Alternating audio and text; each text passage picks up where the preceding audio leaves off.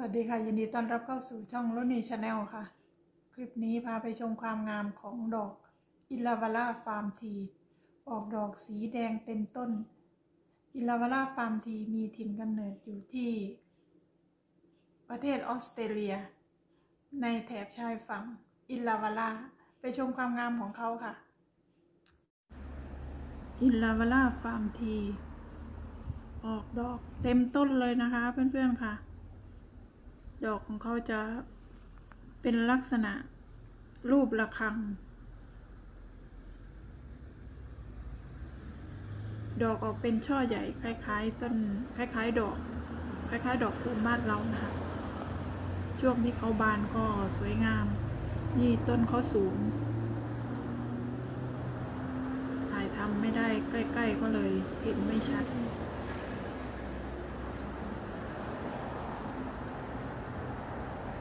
ต้นนี้อยู่ริมถนน เป็นช่วงที่เขาออกดอก เขาจะเริ่มออกดอกตั้งแต่ช่วงคริสต์มาสนะคะ เท่าที่เห็นนะคะ พื้นที่นี้อยู่ตามแนวของทะเลสาบอิลาวาล่า เป็นถิ่นกำเนิดของเขาเลยนะคะ จะพบเห็นอยู่ทั่วไปเป็นไม้ประดับที่เวลาออกดอกก็จะ ส่วนมากจะออกเต็มต้นเลยช่วงเวลาที่เขาออกดอกจะแทบไม่มีใบ แต่ว่าต้นนี้ก็ยังเหลือใบให้เห็นอยู่นะคะ เป็นไม้ที่มี ช่วงเวลาที่เขาไม่ได้ออกดอกใบก็จะเขียวสดแต่ว่าพอจะถึงช่วงฤดูที่เขาออกดอกก็จะเริ่มใบเหลืองแล้วก็ร่วงหล่นลงมา แล้วก็จะมีดอกออกเต็มต้น แบบนี้เลยค่ะ บางต้นไม่มีใบเลยนะคะ ช่วงที่เขาออกดอก แล้วใบของเขาก็จะเหมือนใบเมเปิลเนี่ยค่ะร่วงสีแดงเต็มพื้นเลย เป็นไม้ที่มีความสูงมากมากนะคะ ต้นที่สูงเต็มที่ก็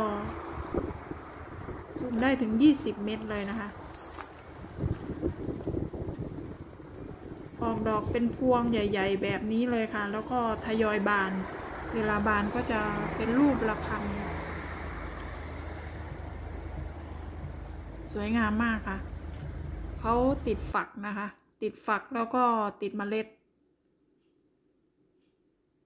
ขยายพันธุ์ง่าย ๆ โดยการพอเมล็ดบ้านเราก็ก็มีพันธุ์ขายนะคะ เพื่อนๆคะเท่าที่หาข้อมูลดูเนาะ แต่ว่าถิ่นกำเนิดของเขาอยู่ที่ แนวชายฝั่งของIllawarra เลยค่ะ ทะเลสาบ Illawarra ตามชื่อของเขาเลย Illawarra Flame Tree ต้นที่ถ่ายทำอยู่ริมถนน ตามแนวชายฝั่งของทะเลสาบ Illawarra นะคะ อยู่ในถิ่นกำเนิดของเขาเลย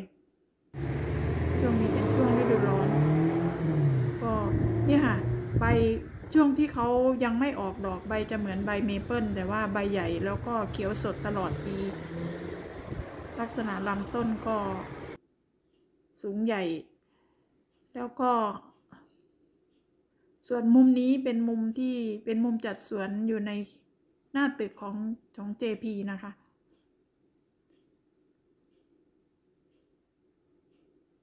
ดูการจัดสวนชอบชอบมากเลยค่ะ ชอบเป็นการส่วนตัวนะคะ รุ่นนี้ชอบเป็นการส่วนตัว